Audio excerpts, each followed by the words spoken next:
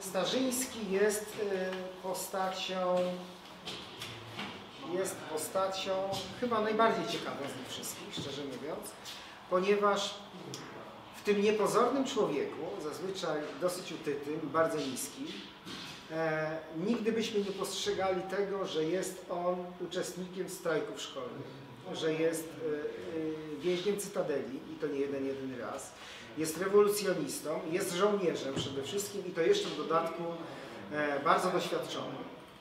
Mamy tutaj zdjęcie, mamy tutaj właśnie zdjęcie Stefana Starzyńskiego e, z czasów, z czasów służby w Legionach.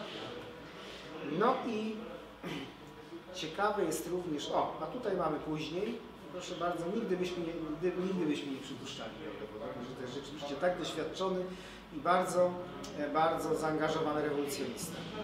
I ten rzeczony re- rewolucjonista, słuchajcie, również w pewnym momencie zmienił wyznanie. To go też łączy, to go też łączy z pozostałymi dwoma, a mianowicie, e, mianowicie Stefan Starzyński, Stefan Starzyński e, w pewnym momencie bardzo się zakochał. Najpierw e, e, Stefan Starzyński zakochał się w Józefie Wróblewskiej zwanej Zazą. Józefa Wróblewska była piękną dziewczyną, która również się w nim zakochała. Pobrali się, pobrali się i ich związek niestety nie, nie przetrwał próby czasu, ponieważ, ponieważ Stefan Starzyński, tak jak mówiłem, był bardzo zaangażowany w walkę o Polskę. E, Był w Legionach i w pewnym momencie należał do tej grupy, do tej grupy e, legionistów, która odmówiła złożenia przysięgi państwom centralnym. W związku z tym został internowany i w tym, w tym internowaniu przebywał dość długo.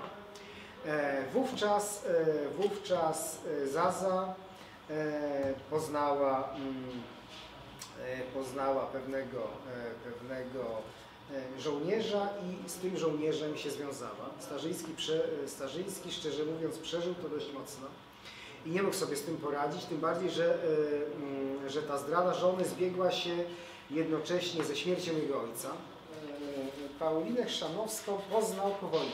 Skończyła się pierwsza wojna światowa e, i ona była, e, i ta jego druga żona była wdową po e, e, żołnierzu Legionów, po, po niejakim Tylickim. Pomimo tego, że ona była wdową, no to, on, to jednak on był, on był rozwodnikiem i, i znowu nie mogli się pobrać. I po to, żeby się pobrać, oboje zmienili wyznanie i, w konsekwencji pobrali się w kościele protestanckim.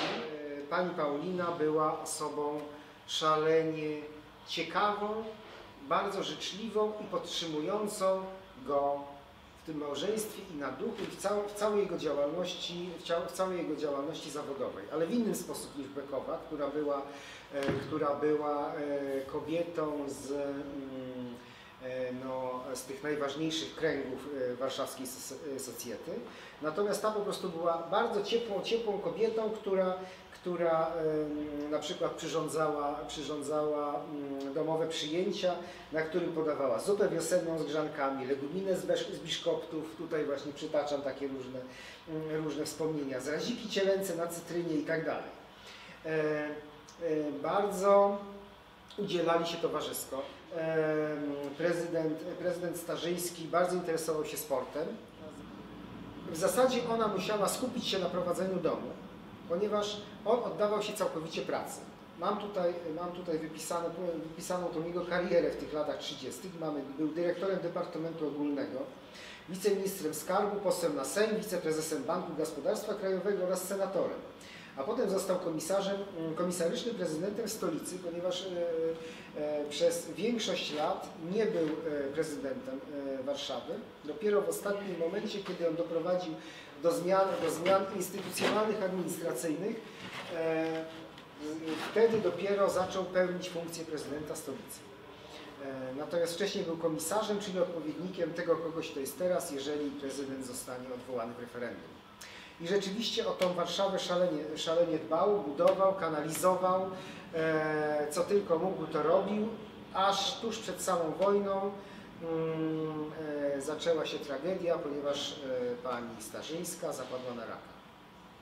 Zachorowała na raka i y, zmarła latem 1939 roku, co spowodowało, że on się życiowo całkowicie wycofał, załamał się i wybuch wojny przywrócił go do życia.